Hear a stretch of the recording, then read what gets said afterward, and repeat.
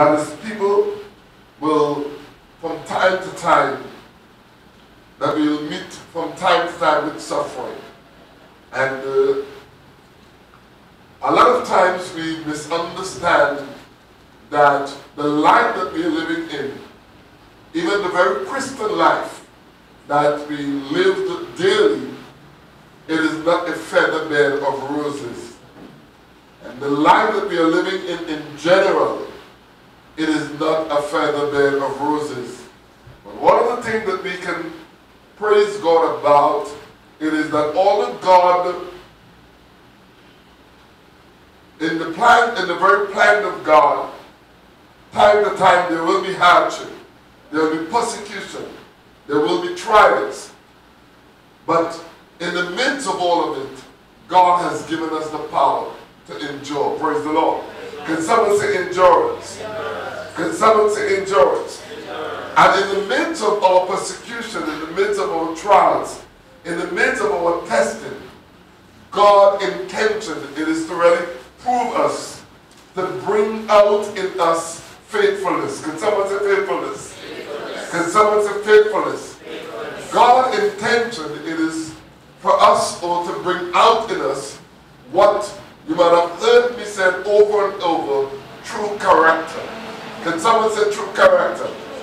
So it means I want you to understand that when God allows us to be tested, whether we are being tested, we are being tried, whether it's whether it's suffering, I want you to know that God's intention is to bring out the best in us. Amen. God's intention is not to bring out the worst in us. You know, my God, sometimes suffering and hardship can bring out the worst in some people. Amen. But I want you to know that God's intention, it is always God's intention to bring out the best in us. Amen.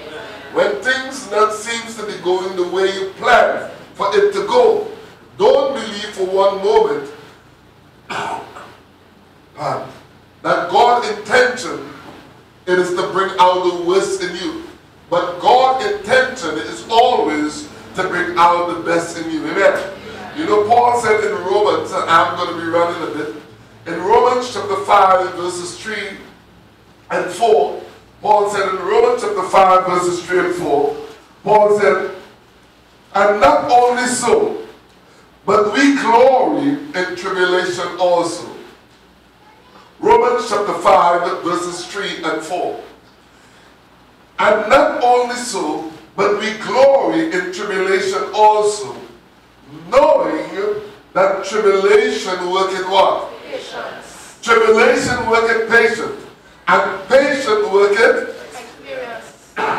experience.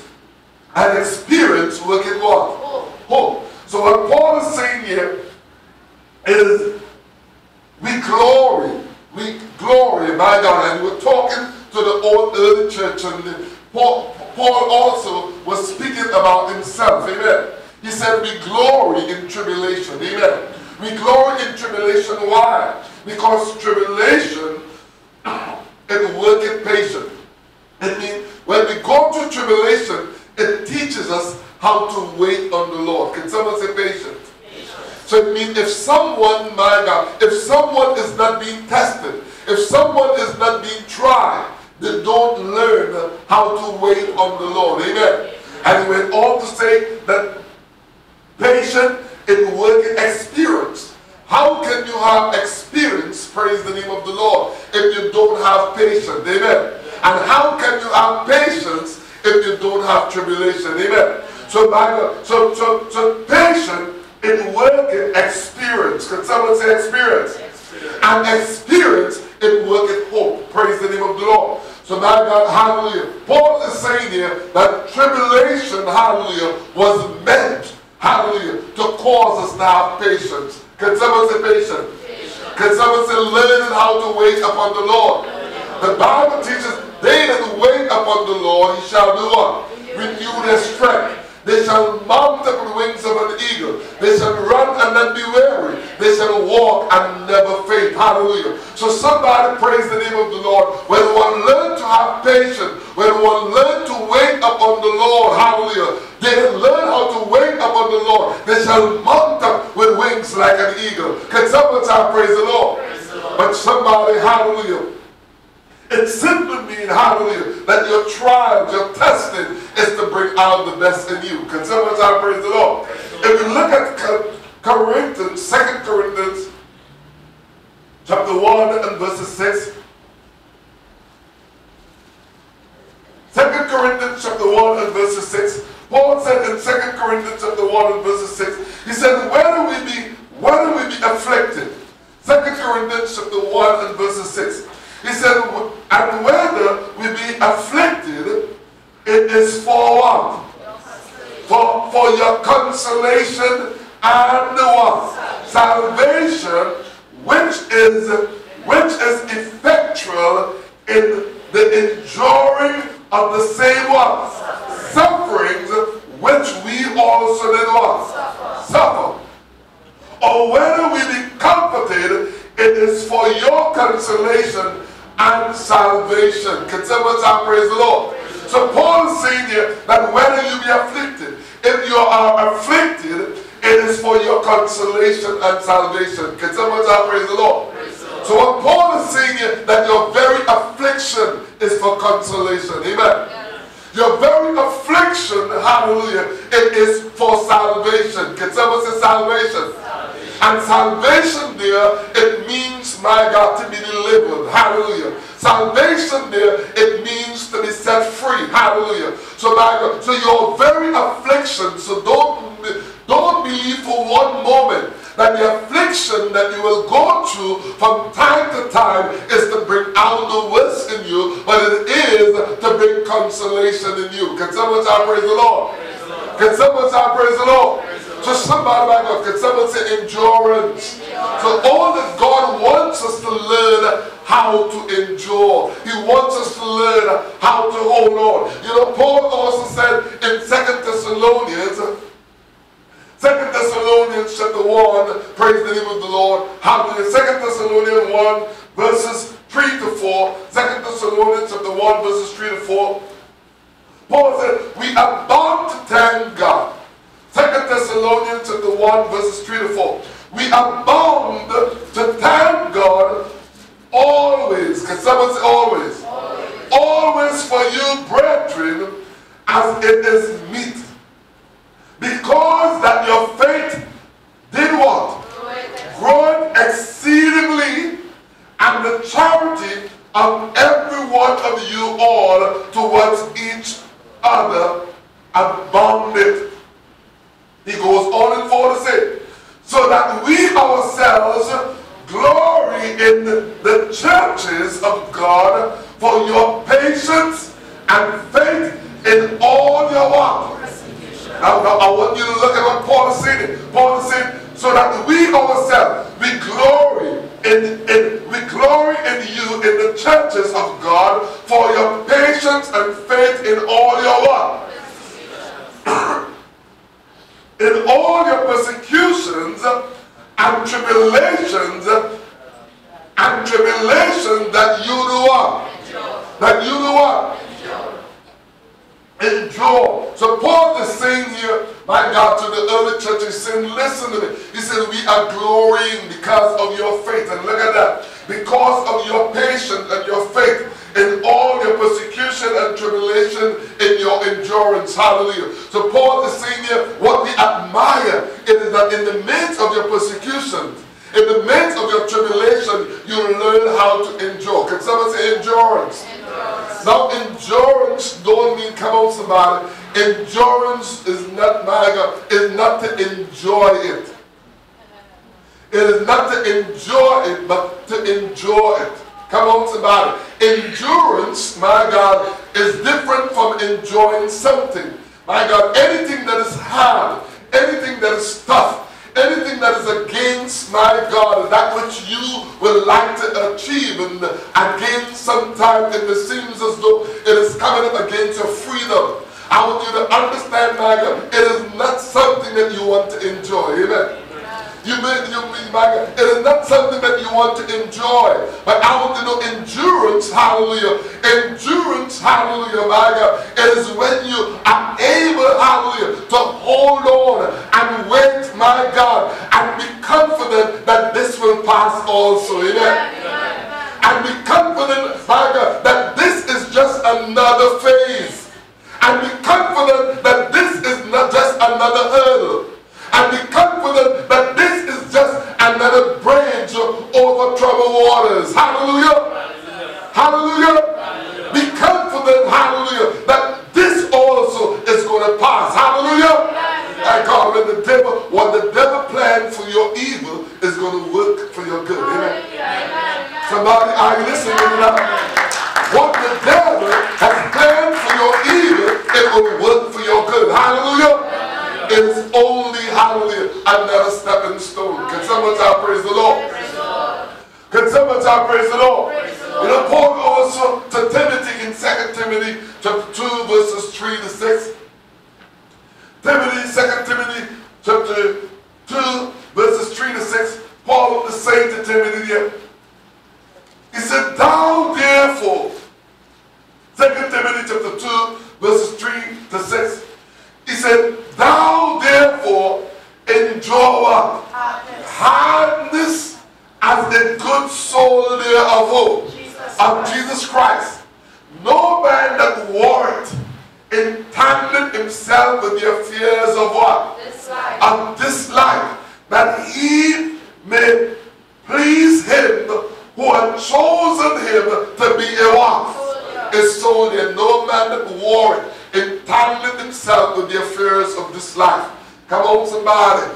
If my God, that he may please him that has chosen him to be a soldier. Come on, somebody. I want you, my God. Can someone say, We are the soldiers of the Lord? And my God, I want you to understand, praise the name of the Lord. The system of this world must not move us from who we ought to be. Come on, somebody. The trials and the hardness of this world must not change you, hallelujah, from the direction that God,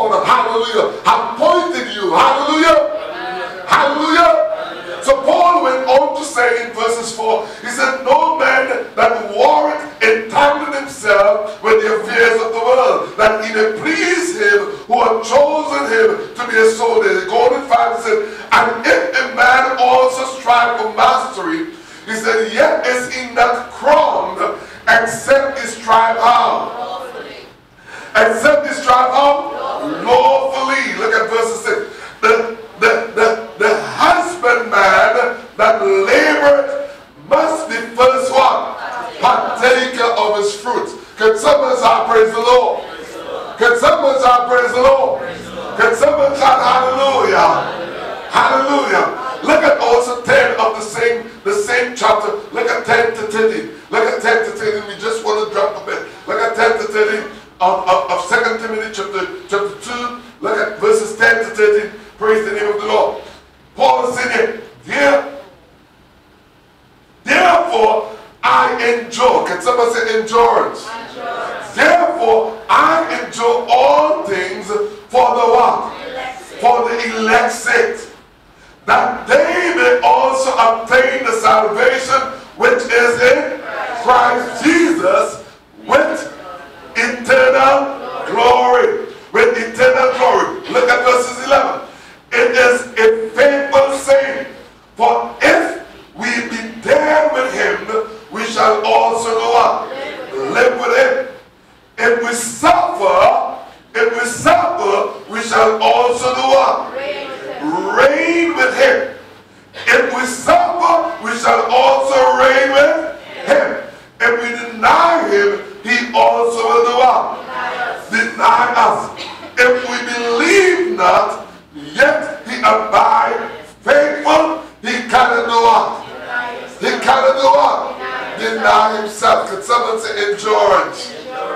Can someone say endurance?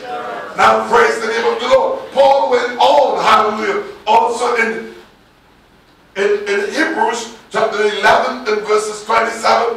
Praise the name of the Lord. Hebrews chapter 11 and verses 27, Paul said here, he said, by faith, praise the name of the Lord. Hebrews chapter 11 verses 27. Hebrews chapter 11 verses 27. He said, by faith, forsake Egypt, not fearing the wrath of the king. For he did what? He enjoyed and seen him who is what? He enjoyed and seen him who is what? Invisible. My God. He's saying, my God. Moses, my God, he was seeing him that was invisible. Amen. He forsake all the riches and all the wealth of Egypt, my God, for a God that he could not have seen with his eyes. Amen. But my God, he endured. Come on, somebody. He endured even when he was, my God, when he was, was sent out into the wilderness. He endured, come on somebody, he endured in the midst of all the suffering that he had to go through, hallelujah, my God, for an invisible God. Can somebody praise the Lord? I want you to understand, hallelujah, your endurance, hallelujah, will not fail you, hallelujah. You learn how to wait upon the Lord. It will not fail you. Hallelujah.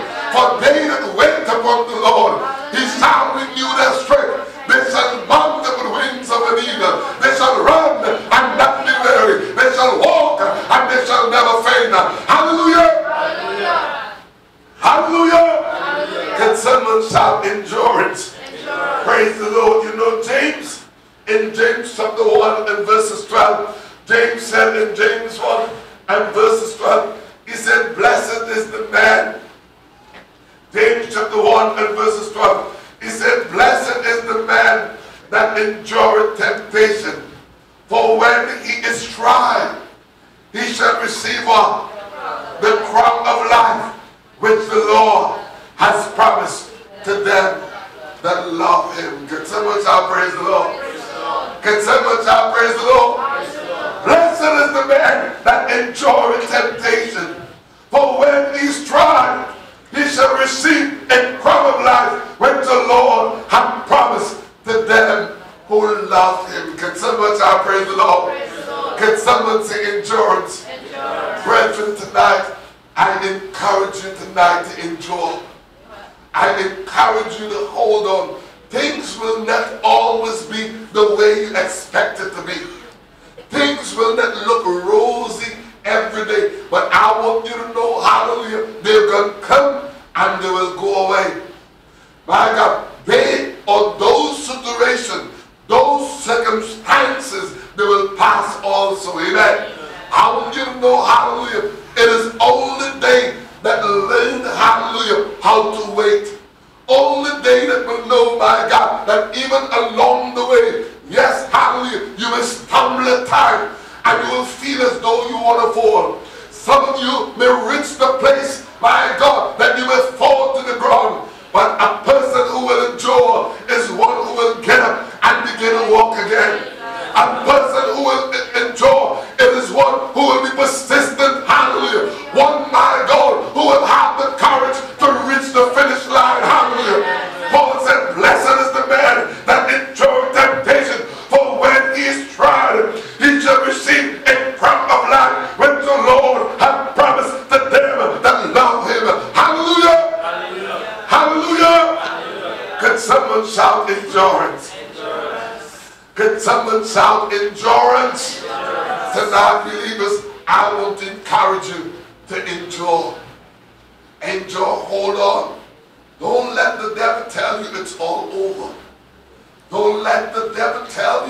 Are defeated. You can never be defeated as long as Jesus is on the throne. Amen. Sometimes you will feel as though you want to give up. But I want you to understand, hallelujah, you feeling as though you want to give up don't mean that you're defeated. You feel it, come on somebody, the just shall live by faith. We don't walk by sight. If we walk by our feelings, if we walk by our sight, I want you to understand we're going to give up. We're going to let go of God. Hallelujah. But as long as you continue to walk in faith without do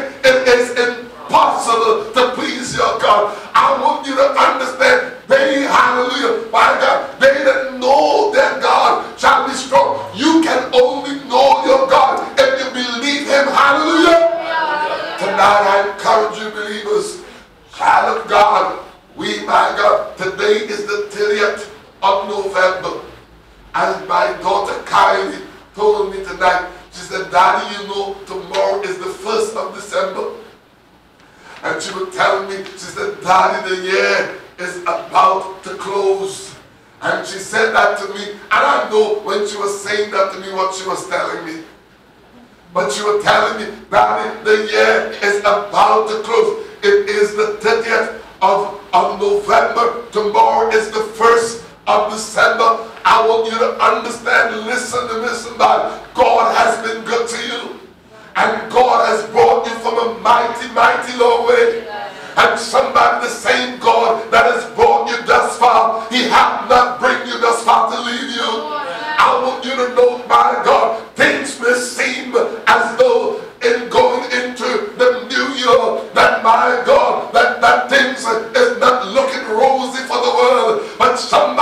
want you to